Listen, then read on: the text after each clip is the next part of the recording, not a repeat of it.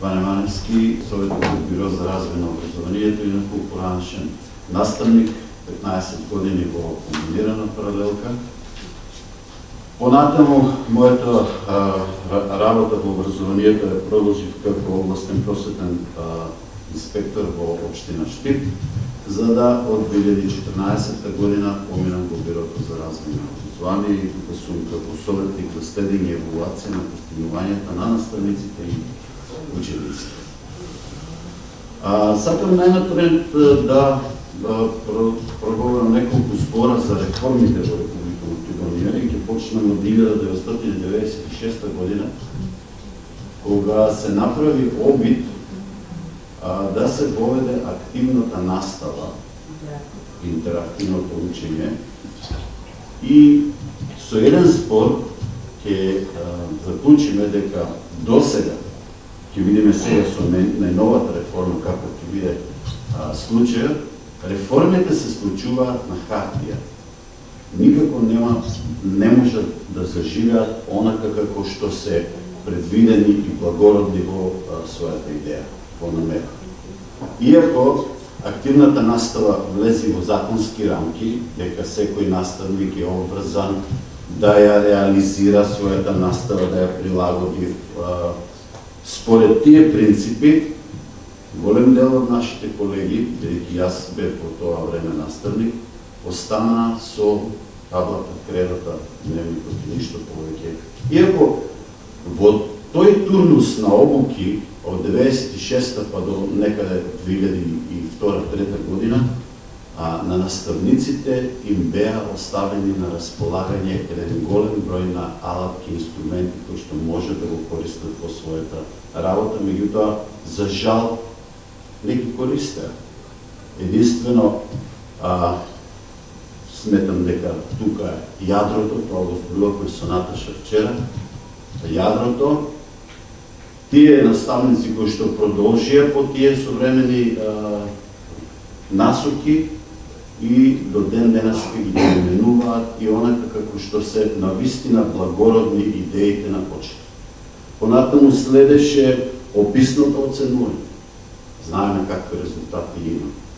Какви различни, диаметрално спротивни резултати носи описното оценување во Република Македонија. И пак повеќе ќе се замислиме за реформите во Република Македонија, не зависи од никого, колеги, зависи од нас самите. Како ние ги сваќаме, како ги практикуваме и како ги применуваме. Вие во вашето училиште имате најразлични примери и сето тоа е легално. За жал. За жал тоа сето е легално. Кембриджот какви промени донесе, како беше замислен и каква идеја носи Кембридж програма. Меѓутоа, неговата практична примена донесе до катастрофални резултати. Некако не беше прифатена, не беше применена. Една друга работа која што а, на почеток ја кажав, ама па не ја докажав, дека промените, реформите во Република Македонија во однос на а, суштински промени не се случуваат дел заради тоа што нарачателот на овие реформи и до ден денешен не ги следи финансиските импликации кои што реформите ги носат. Професорката зборуваше дека во денешно време се соочуваме со проблем да немаме вода, а ние зборуваме за дигитализација на образованието, во кој што процес треба не само материјално техничка опременост на училиштата, туку треба да се а, збогатат и капацитетите на праводени. Значи, можеме да имаме безпрекорни платформи, можеме да имаме дигитални учебници, можеме да имаме и техника и технологија, да ја набави државата да за потребите на учениците и на Меѓутоа, колку од нас може тоа да го користат и на кое ниво е свеста за користење на овие, овие ресурси. А, за комбинираната настава, некој нешто каже, значи на вистина, на вистина работев 15 години, Ова, овој вид на настава, според мене, е на маргините на легалноста и е одраз на грижата на едно обштество кон неговите, неговиот систем за образование и кон населението. Значи, толку можам да кажам. Не може во денешно време, каде што со закон за основно образование стои член дека не може да се комбинираат ученици од различни периоди, да постојат комбинирани паралелки од пет поделенија. Едноставно, тоа е нелегално, незаконски е тоа. За кои паралелки од пет поделенија не зборуваме? Можеме ли да зборуваме а, за нешто што е нелегално вака на, на научни собери, на, на вакви си, а, форуми? Не смееме да зборуваме. И таму кај што ги има, треба да алармираме дека тоа не треба да се случува. Значи, одраз на, на грижата на државата кон нас, наставниците, и воопшто кон населението. Значи, во една добро организирана држава, ова се решава на многу по-едноставен и многу по-суштински начин, каде што уставните права на учениците се чува.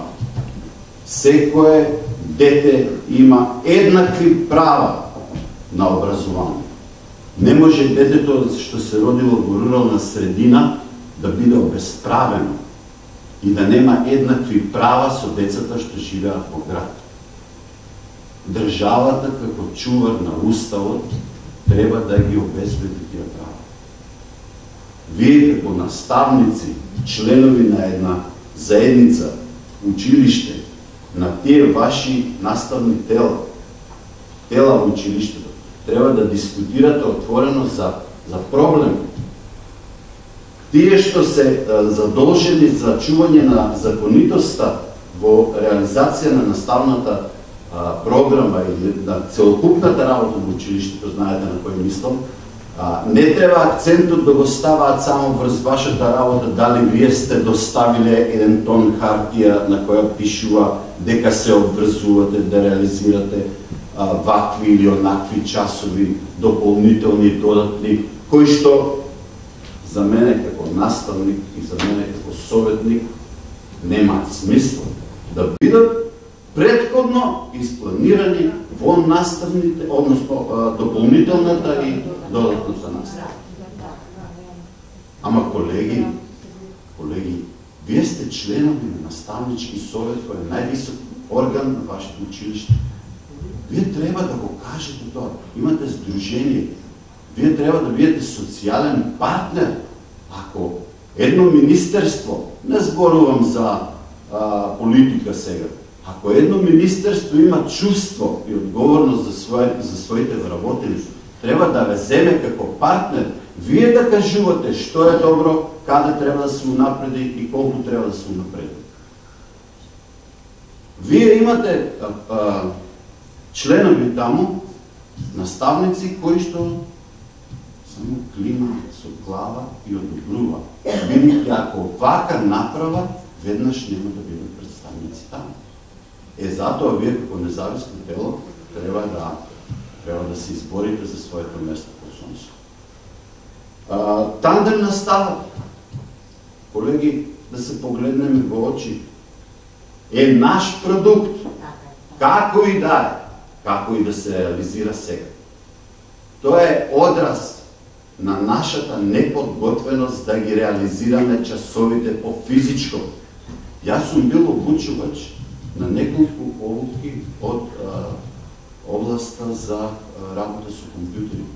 Наставниците има толку голем отпор спрема таа настава, што велат, зошто ние Нека си дојде информатичар, нека си ги држи часовите.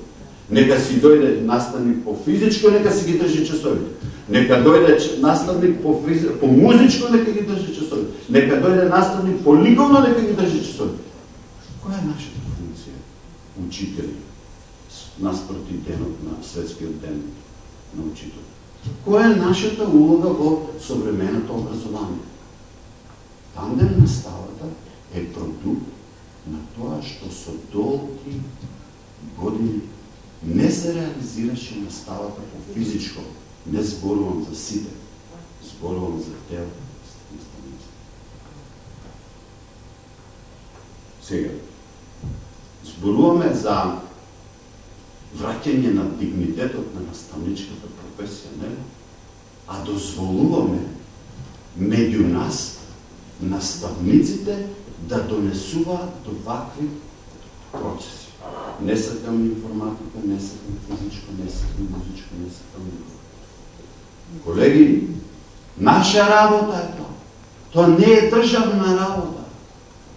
Ние во училиштето треба да, да создадеме систем, некој спомна, се гледаат само а, а, негативностите, а не се гледаат добрите работи. Наша работа е. Во училиштето да креираме систем, каде што добрите работи ќе бидат наградени, а лошите работи ќе бидат критикувани. Ние имаме представници во сите тела на училиштето, включително и на училишниот одбор. Ние а, сме резигнирани само кога не добиваме награди. Што се случува кога имаме а, колеги кои што не заслужуваат платата, да бидеме реални? Имаме колеги, јас во еден месец имам посетено 90 наставни часа од најдобри наставници во училиштата до тие што не заслужуваат да бидат таму на голем одмор. За жал, за жал, колеги. Колеги, јас сум член, бев член до пред некој време, на Државната комисија за полагање на стручен испит. Да видите какви млади колеги доаѓа. страшно, поразително, неподготвени за час, знаат дека има наград, таму има наредба, сите поминува. Сите. Значи, јас сум само еден член од трочена комисија и таму мојот глас не значи ништо. Мојот глас значи дека треба да се скарам со некој. И јас зборувам со истиот овој тон како што зборувам пред вас. Јас им кажувам на младите колеги дека влегуваат во една професија која нив бара да бидат астронаути, да бидат гуру, да бидат на почетокот колешката адвокати, адвокати правници. Треба да бидат тие. Некој рече колешката млада дека не ни е дозволена грешка. Нам не ни е дозволена грешка. Точка. Ние не само што не реализираме настава а, онлайн, и кога сме во училница, ние сме пренесувани во 25 семејства секој ден, така како изгледаме, како сме облечени, како мирисаме. Пренесени сме. Без разлика што работиме во училницата, а не сме онлайн па да не гледаат и слушаат родители. Нам не ни е дозволено да грешиме. Немаме ние таков луксус да грешиме пред учениците. Во, во тоа време, во тие периоди, што каже и професорката, се по своја календарска возраст. Ние немаме шанса или не треба да имаме шанса да ги воведеме учениците во погрешни поеди. Тешко после на животот може тоа самите да го, да го реши. Инклузивното образование, неколку збора фаќат прибелешки на телефонот, па се подсетувам, може да се реализира доколку едно општество има чувство за инклузивност и е инклузивно само. Ако училиштето се обидува да биде инклузивно, представува една енклава ќе нарушите довербата Значи, кога ќе излезат учениците од таа атмосфера на инклузивност во едно неинклузивно општество, кое што е полно со а, стереотипи, со предрасуди, ќе се разочара од тоа, ќе нема доверба во вас, дека вие ги учите на нешто што не е добро. Не може да се снајдат во ова сурово општество. Значи, поентата ми е, ние во училиштата сме донесени до една морална криза. Дали ние како наставници сме во правец нашите ученици да успеат. На што ги учиме? Да бидат инклюзивни, да бидат демократи, да бидат сензибилни кон да бидат добри граѓани. Наспроти, што? Колеги, се враќам од тродневна обука ќе скратам.